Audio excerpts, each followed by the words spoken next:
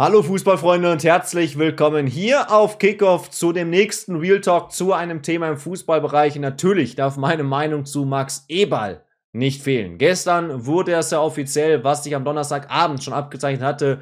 Max Eberl verlässt nach über 20 Jahren Borussia Mönchengladbach. Und das nicht, wie es ja von manchen spekuliert wurde, weil er irgendwie einen neuen Job haben möchte, weil es bei Borussia zu sehr knatscht Vielleicht auch, aber vor allen Dingen, weil es gesundheitlich, weil es mental, weil es im Kopf nicht mehr so weitergeht, wie es aktuell ist. Und deswegen endet das Kapitel Ebal und Gladbach zu einem, ja, man muss zugeben, sehr, sehr ungünstigen Zeitpunkt. Wir sprechen darüber, wie man das Ganze, ja, in einem Rahmen bewerten kann. Was heißt bewerten? Was man einfach für eine Meinung haben kann oder auch nicht haben kann. Denn ich gebe meine hier ab und ich glaube, wir sind viele unterschiedlicher Meinungen bei dieser ganzen Thematik, weil ich habe auch viele unterschiedliche Meinungen gelesen. Aber auch das ist ein bisschen was, worüber ich hier und heute in diesem Real Talk sprechen möchte. Ich habe mir kein Skript gemacht, ich habe mir keine Notizen gemacht, wie ich es vielleicht sonst mal mache, weil ich einfach frei raus, frei Schnauze jetzt mal meine Meinung zu dieser ganzen Thematik abgeben möchte. Denn für mich ist und bleibt Max Eberl einer der besten Manager der Bundesliga, den ich seit Jahren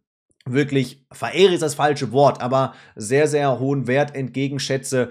Denn ich als Schalker kenne es, in meinem Club war viel Unruhe, waren viele Personalwechsel. Da hat man dann schon wirklich gedacht, in Gladbach läuft das echt gut.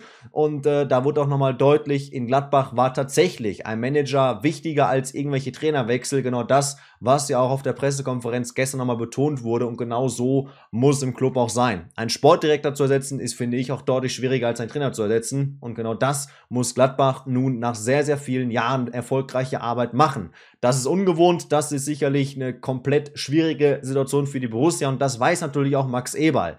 Umso ungünstiger ist natürlich auch, dass ein Zeitpunkt erwischt, wo eben Eberl seinen Rücktritt bekannt gibt, in dem Gladbach finanziell bedingt durch Corona nicht gut dasteht, sportlich bedingt durch ja, extrem viele Misserfolge nicht gut dastehen in der Bundesliga. Der Abstiegskampf ist nicht weit weg, er ist eigentlich sogar Realität und natürlich auch, wo das Transferfenster noch offen ist, ja, es ist alles etwas ungünstig, das kann man sicherlich sagen, aber trotzdem finde ich, dass viele Meinungen nochmal etwas ungünstiger sind. Am Donnerstagabend wurde ja zum ersten Mal darüber spekuliert, was ist mit Max Eberl. Am Donnerstag hat ja wohl noch ein Gespräch stattgefunden, was nachmittags begann, bis abends fortging und eben daraus erklungen ist, dass Max Eberl zurücktreten wird. Soweit, so gut ist auch klar, dass Medien darüber berichten werden. Aber was manche daraus gemacht haben, das finde ich durchaus erschreckend und ich finde es auch schade, was manche Fans daraus gemacht haben. Auch gestern im Live-Chat, ich habe den ähm, die Pressekonferenz im Livestream bei Borussia Mönchengladbach verfolgt, sprich, ich konnte auch einige Kommentare von Gladbachern, von anderen Fans mitbekommen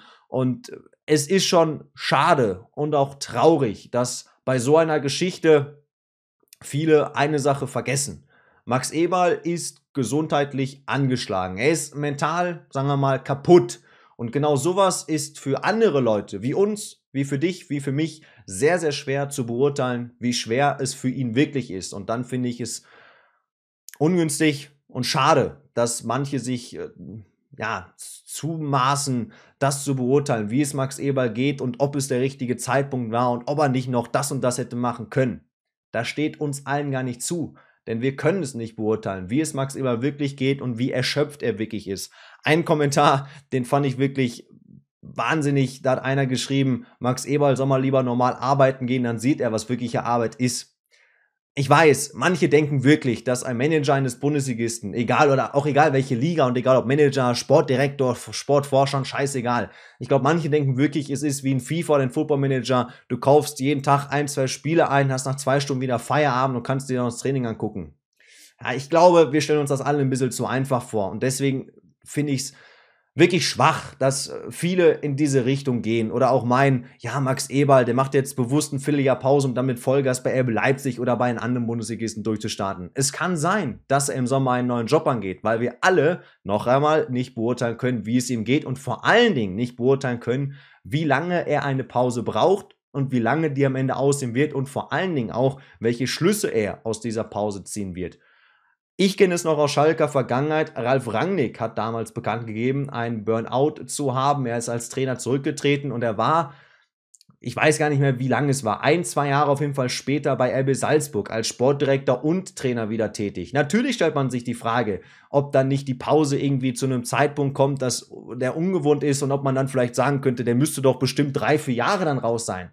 Wissen wir nicht. Wenn Max Eber meint, nach einem halben Jahr ins Fußballgeschäft zurückkehren zu können, dann ist das ein gutes Recht. Wenn Max Eber meint, nie mehr ins Fußballgeschäft zurückkehren zu müssen, dann ist das auch sein gutes Recht. Und deswegen finde ich sehr, sehr schade, was manche daraus gemacht haben. Und ich will jetzt gar nicht irgendwas von Max Eberl zitieren aus der Pressekonferenz, aber eine Aussage, die ist mir wirklich im Kopf geblieben, denn die lautete ungefähr, ich fasse jetzt mal zusammen, es ist die schwerste Zeit, in der ich Sportdirektor sein durfte. Wir haben uns lange unterhalten. Was in 24 Stunden daraus gemacht wird, ist tatsächlich das, was mich krank macht.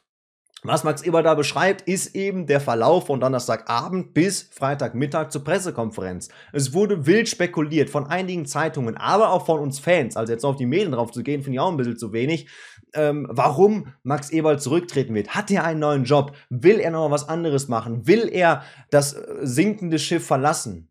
Nein, es geht ihm einfach nicht gut und dann macht es auch keinen Sinn, so einen Job weiterzumachen. Noch einmal, wir können alle nicht beurteilen, wie es Max Eberl hier oben wirklich geht, denn das hier oben, das kann man nicht messen. Das ist keine Krankheit wie ein Beinbruch, wo man sagt, nach ein paar Wochen, Monaten bist du wieder dabei.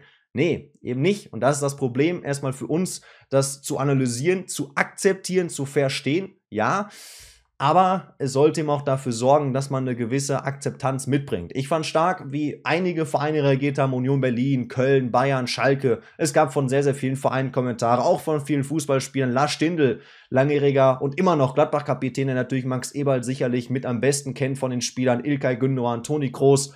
All die haben genau das Richtige getan. Sie haben Max Eberl Respekt ausgesprochen, ihm die beste Gesundheit gewünscht und ich finde, das ist doch das, was am wichtigsten ist. Und nicht daraus irgendeine Geschichte zu machen, ja, der verlässt das sinkende Schiff, bleibt doch noch zwei Wochen, um die Transfers zu Ende zu bringen.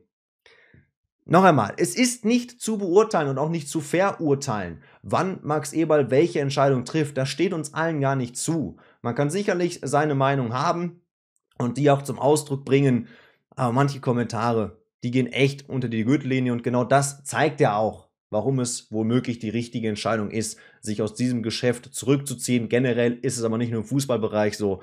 Diese Social-Media-Welt beschleunigt sicherlich solche Prozesse wie eben mentale Probleme noch einmal mehr. Ich weiß, viele wollen davon nichts hören. Die sagen dann, ja, man soll doch mal gescheit arbeiten gehen und ja, das hier oben ist auch alles nicht so schlimm. Vielleicht ist es nicht so schlimm, vielleicht aber schon, denn es ist einfach nicht zu messen, wie schlimm sowas wirklich ist.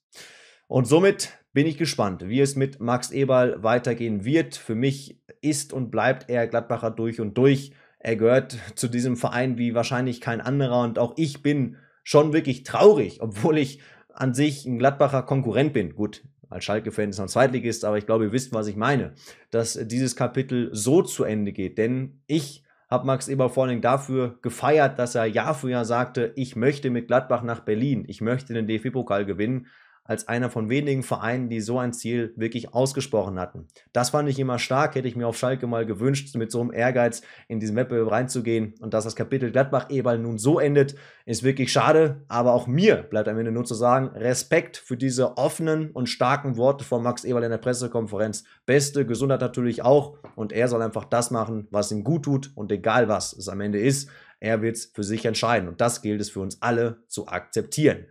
Eure Meinung zu dem Max Eberl-Thema gerne mal in die Kommentare. Interessiert mich. Ich lese mir alles durch und dann sehen wir uns im nächsten Video wieder. Macht es gut, ciao und bleibt am Ball.